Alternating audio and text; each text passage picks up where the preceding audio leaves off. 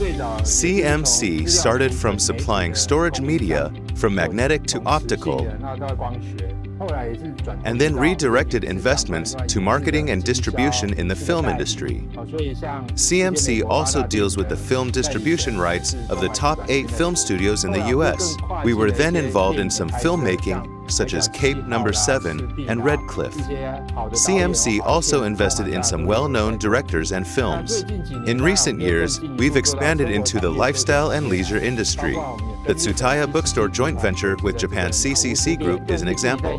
Moreover, on Yangming Mountain, we turned the existing American military housing into various restaurants. We were using Microsoft Exchange 2003 in the past. However, there were no vulnerability patches from Microsoft, so we often got delivery failures from the emails we sent to our clients. Restaurants around Com In Dim have branches scattered everywhere, which comes with an increasing demand for mobility. That's why we need an all-round mail system to support us. In the beginning, we were considering upgrading Microsoft Exchange, but then we found that we had to upgrade Microsoft AD and the whole Office series. That would add considerably to the overall costs. Mail Plus holds a great cost advantage.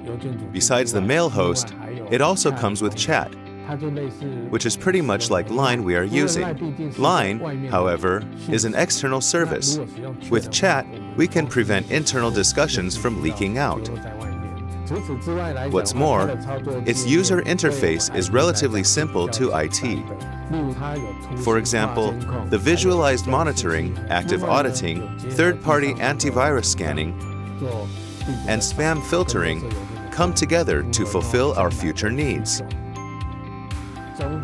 There are many affiliated companies in CMC, and we have more than 600 users in total. We deployed two Synology RS3617X Plus as the primary and secondary hosts. We also have another server for archiving purposes to achieve optimal deployment. To many enterprises, cost always comes first. What comes next is security, especially for the email service.